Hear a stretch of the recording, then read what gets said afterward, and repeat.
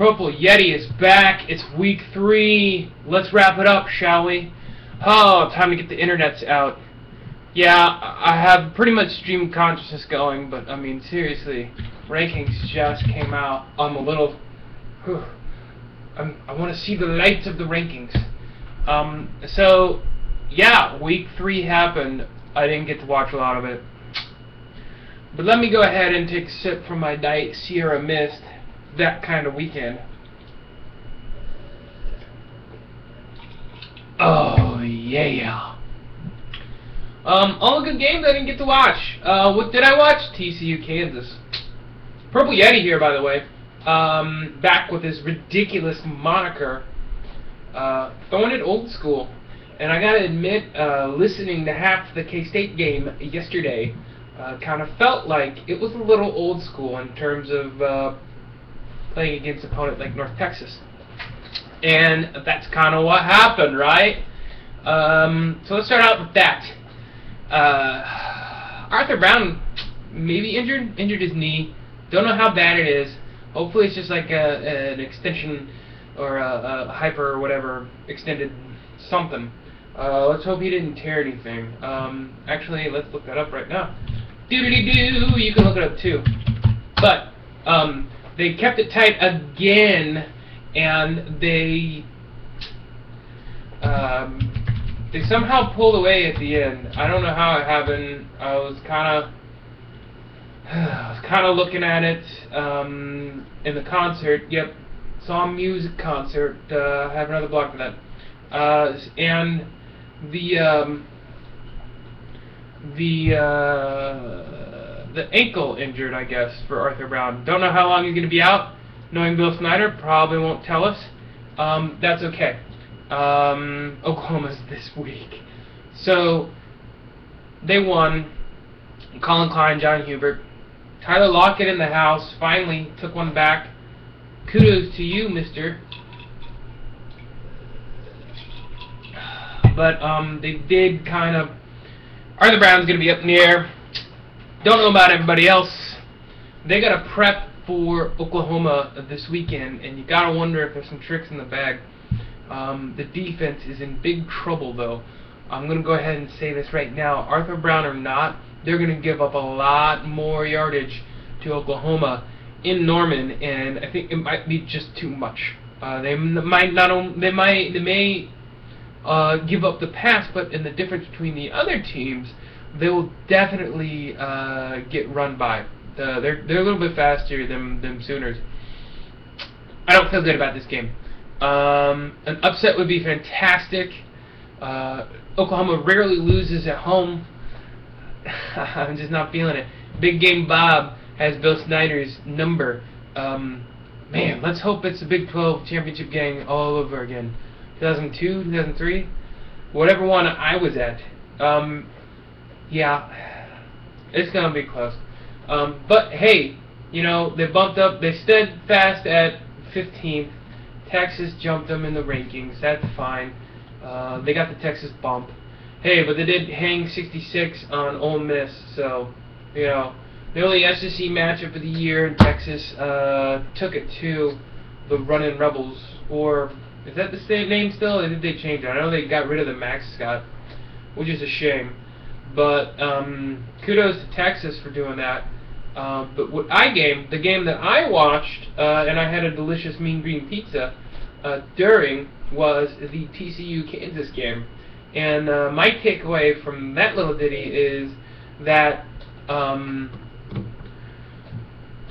that uh, the TCU Horned Frogs got a nice little wake-up call to the Big 12, uh, struggling a little bit, actually a lot for a team in Kansas and North. Good for them.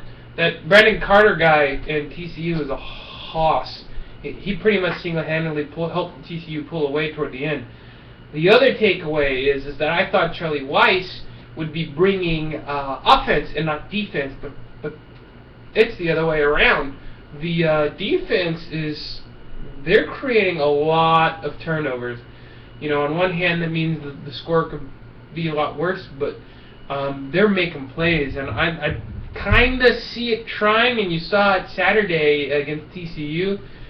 that the offense is kind of almost there. They still kind of make some dumb mistakes, and Dayne Crist is not a great quarterback, but he was way better um, than the uh, the previous dude.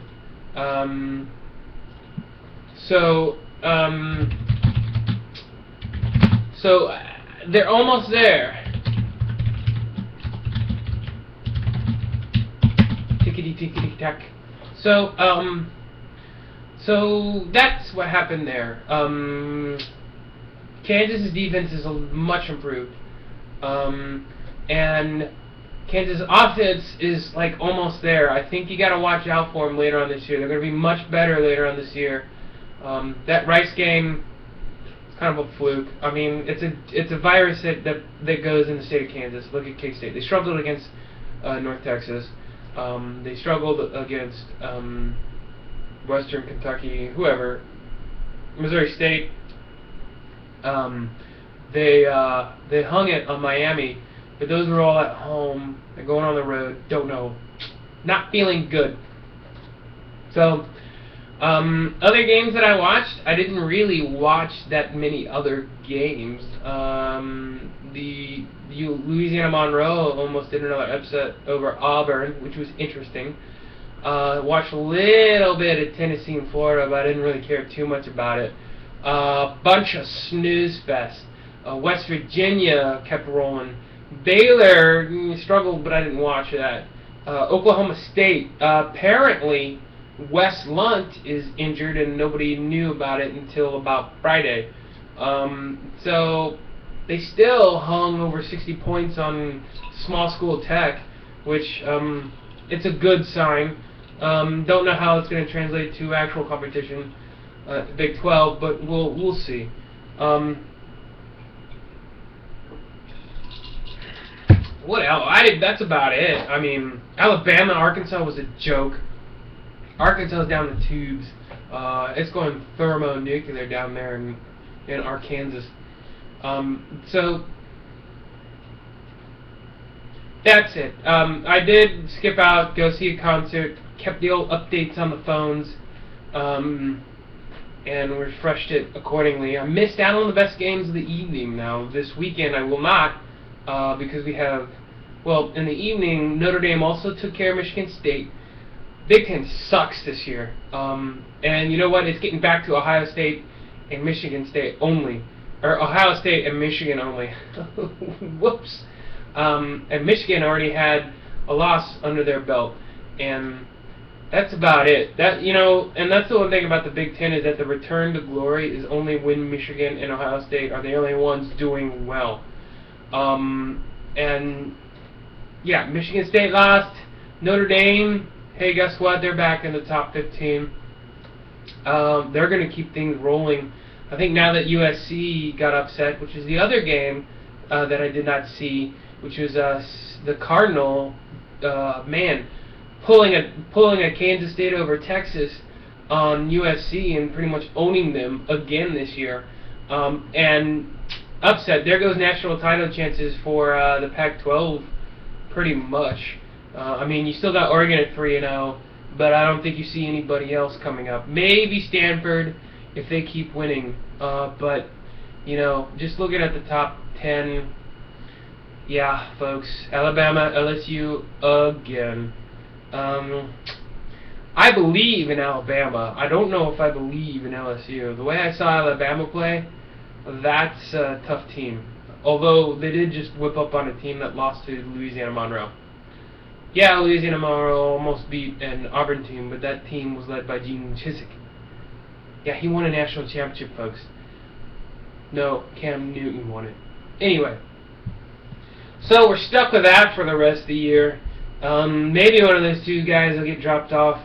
Uh, but you gotta wonder about Texas. Um, they've got the hype. That they've got the USC, LSU, Alabama hype, um, and they're gonna ride that until they notch a loss. Which, if they play the way that they did Saturday night, you know, it might be December one that um, is the last chance for them to lose. And talk about Big 12 being back. Big 12's back only when Texas and Oklahoma are doing well. It's like, mm, yeah, half of college football's hype. And, um, yeah, that's just the way it is. So, this weekend I mentioned that Kansas State is playing Oklahoma State. Um, what else? Night games wise, it's a great lineup. Um, ESPN, ABC's got Florida State and Clemson, which is almost a top 10 matchup. And then we have Notre Dame and Michigan as well. So we have Kansas State, Oklahoma, Notre Dame, Michigan, and uh, Florida State, Clemson. That's right, folks. One loss between six teams. Um, good stuff. All at the same time. On broadcast television, by the way. Fox, NBC, and ABC. So for those of you who, like me who have cut the cable and are no longer um, rocking the uh, the super basic awesome cable package, you're going to be able to see three great games. So I'm getting stoked about that. News-wise, um, not much news. Wes Lunt was an interesting nugget. Um, the uh, what else? That's about it. Oh, Bo Pelini was taken to the hospital. Uh, apparently he had the flu symptom. Uh, I think he just chewed his gum too hard. Maybe broke a jaw. Don't know. But, hey, he's feeling better. That's a good thing. Good for him. Um, and with that, um, I'm blowing up. People want to know about... Um, people want to know about who I'm picking this weekend for Kansas State, Oklahoma. you kind of heard it here first. So let me just um, kind of relax and console myself. Yeah, I'm I'm going with Oklahoma. It, it's just it's too much. Um, so CRMS take me away. And um, hey guys, if you got any questions, comments below. There's no subscribe button, so I'm just gonna put up here anyway. But hey, you guys, take it easy. Another week is in the books. Um, undefeateds are going down this weekend. I hope you guys enjoy it stay to KC College game day, and um, we'll have some fun together. Until then, see ya.